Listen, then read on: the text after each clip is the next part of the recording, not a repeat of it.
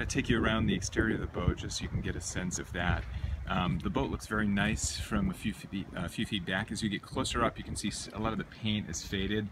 Um, so, you know, we're kind of focused more on the practical side of the boat, but, you know, one thing that somebody could consider doing would maybe be deck paint and topsides paint. It would really look uh, nice.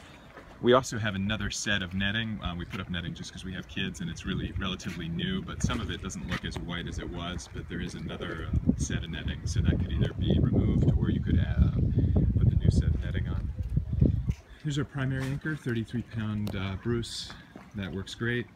Um, we've got a secondary anchor that we use too if we're going to put both out, and then there's a Danforth anchor as well.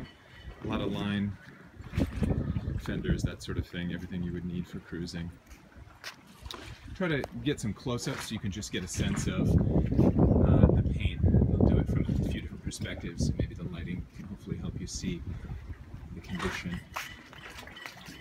Um,